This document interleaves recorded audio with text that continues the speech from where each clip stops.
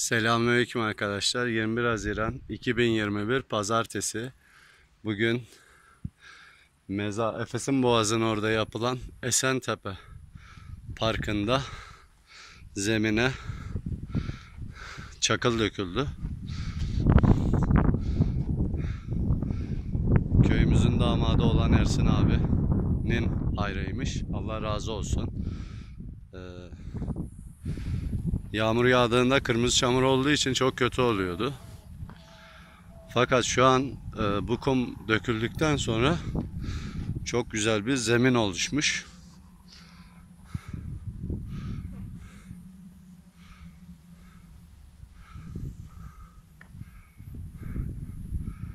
Evet, parkın uç kısımlarında banklar var oturmak için. Aykan abi de Allah razı olsun. Ee, buradaki demirlerin boyasını yaptı. Eline sağlık. Şu an çok iyi olmuş burası. Ee, kırmızı çamur gittiği için zemin 10 numara olmuş. Tabi yavaş yavaş e, her şey yapılarak ilerliyor. Zamanla burası inşallah daha iyi olacak. İkindi ezanı okuyor köyümüzde şu an. Rüzgardan dolayı belki ses gelmiyor olabilir. Kusura bakmayın arkadaşlar. Bayağı bir rüzgar var çünkü şu an burada.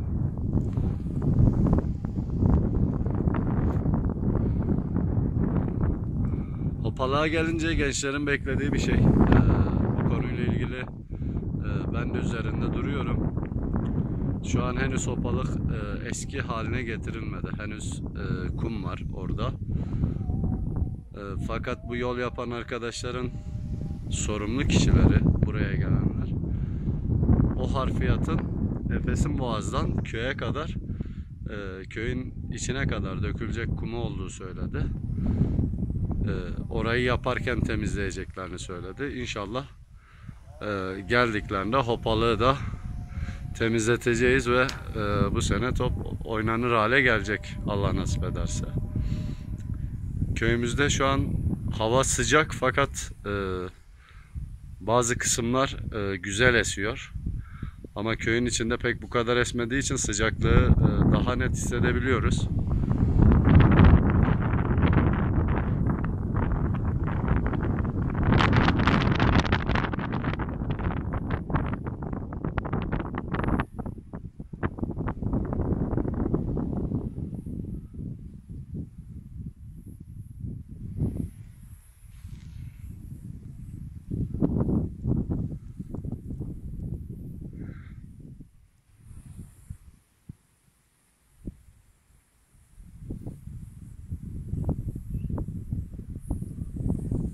Şuradan yola da bakalım. Yani yol bitti. Efes'in Boğaz'dan yol ayrımına kadar olan kısım ve bizim köyden ileriye kadar olan kısım yapıldı. Yolun genişliği bayağı bir geniş. Yani iki kamyon rahatlıkla geçebilecek konumda. Zifte her şey çakıldı döküldü. Allah devletimize zeval vermesin inşallah.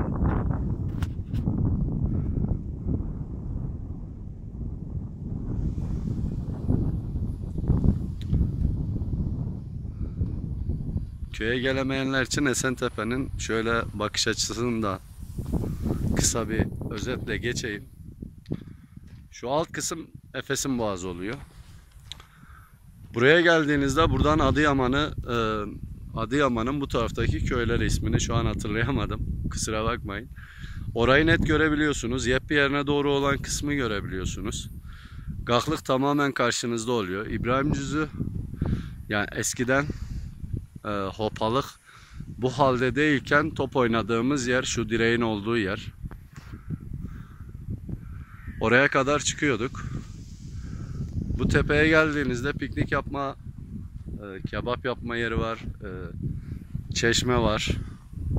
Karşıda gördüğünüz gibi Bay Bayan Lavabo e, var.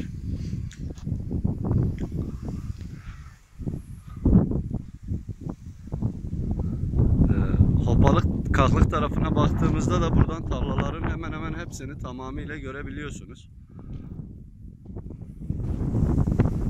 Şu şekil. Ayağınızın altında gibi oluyor biraz. Şöyle köy tam karşımızda kalıyor. Buradan Köarbaba olsun, Savulcakönü olsun, e, Gökgaya olsun, Çelemli olsun rahatlıkla Çatak, Salman Gölü, Yukarı Göl ve oradaki e, bağlar buradan net olarak rahatlıkla görünüyor.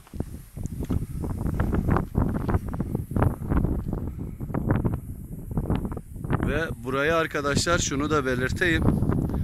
Çüngüş'ten gelen e, ve diğer yerlerden gelen kişiler burayı e, Çüngüş Belediyesi mi yaptı diye soruyor. Fakat burası kesinlikle belediyenin hiçbir katkısı olmadan sadece köylülerimizin e, desteğiyle yapılan bir park.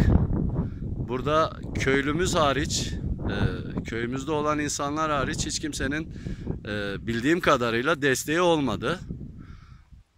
Yani tamamen burası e, köye mahsus köy halkı tarafından yapılmıştır. Yani belediye ile hiçbir alakası yoktur.